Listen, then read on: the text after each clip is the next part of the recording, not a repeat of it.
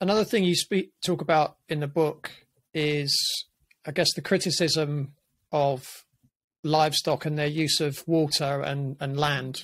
Mm-hmm. Can you talk a little bit about that?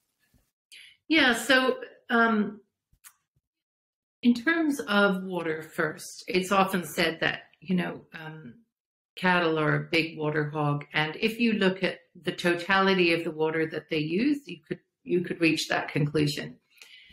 But the fact is that 95% of the water which is used by cattle is rainwater.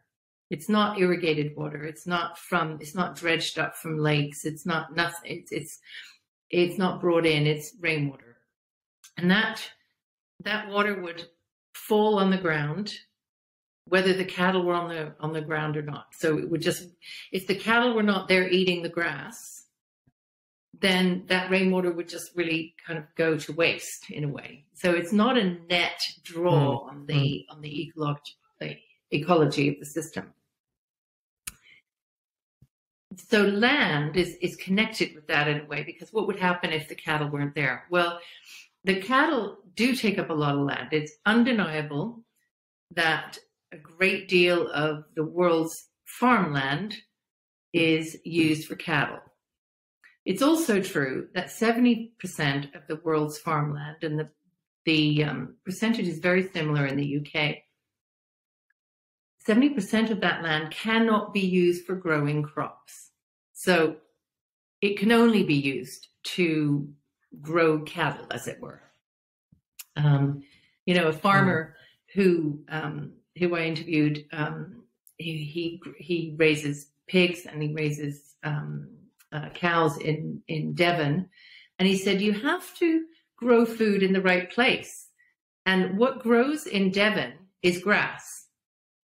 You can't grow anything else. It's very hilly and and it also grows cows very well mm. because cows love the grass. So you're growing these two consistent forms of food uh, and nourishment in the right place. You can't it's, it's extremely naive to think that we could just simply get rid of the cows, change all that land over, and uh, grow food on it. Now, a lot of people say the current argument is, well, we don't need to swap that land over. What we'll do is we'll rewild it, take the cows off it, and rewild it.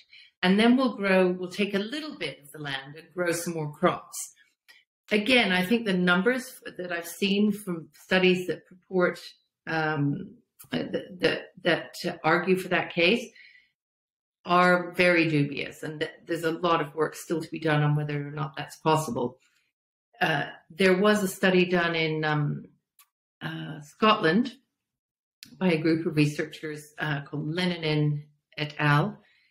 And they discovered that in the Scottish environment, for instance, if you were to swap over um, from animal protein to um, plant based protein, the amount of land that you would require to grow those plant based proteins would be just the same as the amount of land that you're using already to feed those cattle. So you're not really getting a gain in land use um, in an environment like Scotland with that particular topography and everything mm. else. So it's super simplistic to look at that that kind of land use and make judgments on the basis of that alone. The other thing, which I find annoying, irritating, and again, overly simplistic, is when people say, Thanks for watching the Radical Health Rebel YouTube channel.